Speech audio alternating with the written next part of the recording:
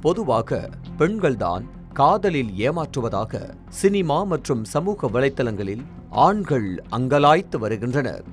இந்நிலையில் ஒரு ஆணை காதலித்து பல லட்சம் ஏமாந்ததாக திருநங்கை ஒருவர் புகார் அளித்திருப்பது ஆந்திராவை அதிர வைத்திருக்கிறது.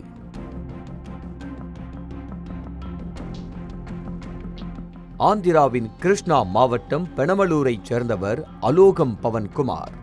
இவரும் விஜயவாடா கிருஷ்ணா லங்காவைச் சேர்ந்த எலி நாகேஸ்வர ராவும் கண்ணூரில் உள்ள வி ஆர் சித்தார்த்தா கல்லூரியில் ஆறு ஆண்டுகளுக்கு முன்பு பிஇடி படித்துள்ளனர்.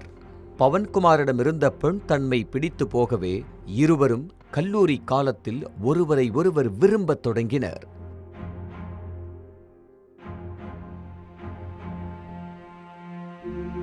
படிப்பு முடிந்ததும் இரண்டாயிரத்து பத்தொன்பதாம் ஆண்டில் ஒரு வீட்டை வாடகைக்கு எடுத்தனர். இருவரும் ஆண்கள் என்பதால் உரிமையாளர் ஒப்புக்கொள்ளவே பள்ளி மாணவர்களுக்கு டியூஷன் சொல்லிக் கொடுத்து கொண்டு ஒன்றாக வாழ்ந்து வந்துள்ளனர். சில நாட்களுக்கு பிறகு திருமணம் செய்து கொள்ள விரும்பி அதற்காக பவன்குமாரை திருநங்கையாக மாற்ற டெல்லி அழைத்துச் சென்றுள்ளார் நாகேஸ்வர ராவ்.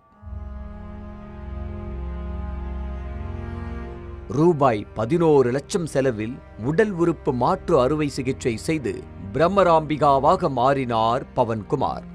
சில நாட்கள் சுமூகமாக செல்லவே இருவருக்குள் கருத்து வேறுபாடு ஏற்பட்டு அவ்வப்போது வாக்குவாதம் ஏற்பட்டது.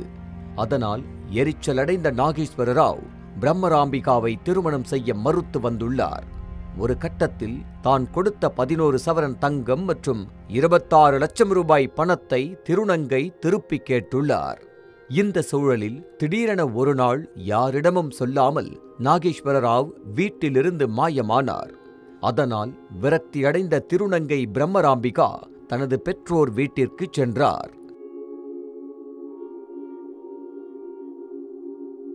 இந்நிலையில் நாகேஸ்வர ராவ் தனது தாயுடன் மங்களகிரியில் இருப்பது தெரிய வரவே இருவர் மீதும் போலீசில் புகார் அளித்தார் பிரம்மராம்பிகா.